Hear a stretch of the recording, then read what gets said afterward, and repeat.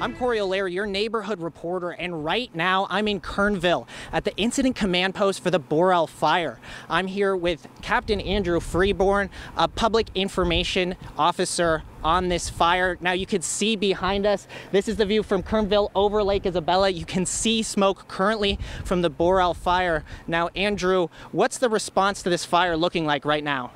You know, the response right now is absolutely massive, and that is because this fire is burning with extreme fire behavior. As we stand here all the way across the lake, you've actually been able to see the flames this far away. That's how intense this fire is. So the number of resources that have been moved into the Borel fire area is astonishing.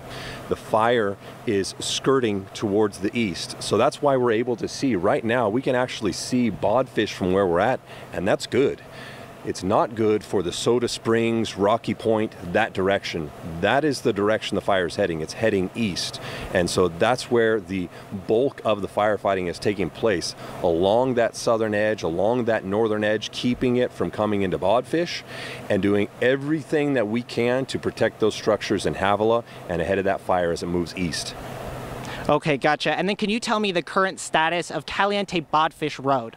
Absolutely. That road has now been closed. And the, the situation is so dynamic that even as you and I were preparing for this interview, yet another zone, zone 747B, was moved from an evacuation warning to an evacuation order.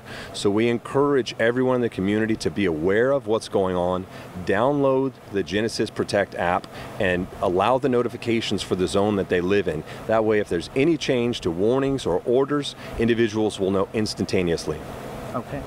And if you are evacuated, you can go to the Tehachapi Education Center or the Lake Isabella uh, Senior Center. Those will be two two of the evacuation centers set up by the Red Cross. And again, we have evacuation orders for KRN 403A and 403B. KRN 736, 737, 738, and KRN 747B. So if you're in those areas, there are Red Cross shelters open to you.